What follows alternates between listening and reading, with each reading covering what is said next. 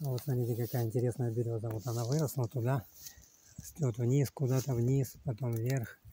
А вот одна скрученная, вот она выросла отсюда, выросла в землю сюда, и отсюда выросла снова.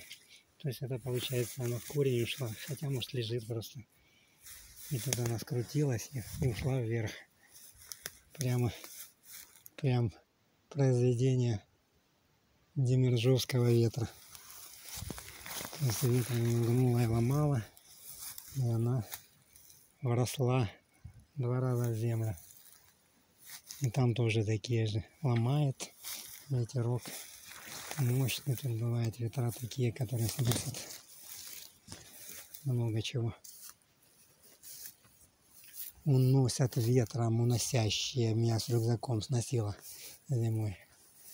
А березки, они хрупкие иногда.